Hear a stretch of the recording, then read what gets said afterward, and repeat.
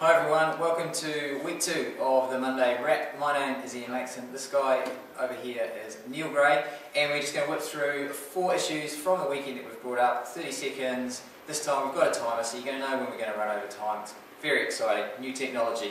Okay, first uh, question. Second week of club cricket, best performance of the weekend. Neil, what was it? Here we go. Right, so Andrew De Boorder, Ace's uh, vice captain last year, 85 not out versus Grafton, very good. Um, Sarvajith DR unbeaten with 135 for Papatoetoe against Birkenhead. But the star performance of the week hitting my poor office mate Ben Mylat Eden Roskill team all over Orakei domain, clearing the boundary an amazing number of times, was Ben Rae with 154 and Parnell's total of 305 for 4 versus Roskill. That's our goal. That's our goal. And that was perfect. Brilliant, now. Choke of the weekend? Choke of the week, yep, a new one for us. We thought, hey, let's get it out there. Choke of the week.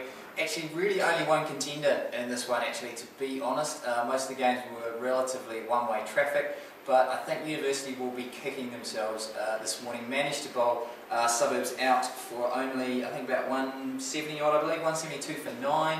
Got away to a good start. They're 69 without loss, and uh, then collapsed to be all out for 152. Uh, when you only need another 100 odd runs to claim your second consecutive victory of the one day trophy, uh, one Jeff Crowe Cup. Oh, I'm done. University, choke of the week, done.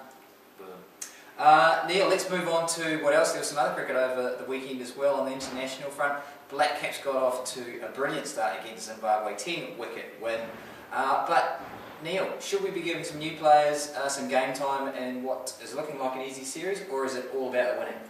Uh, I think on the basis of, of this weekend's game, I think we need to get as many new guys out there as we can.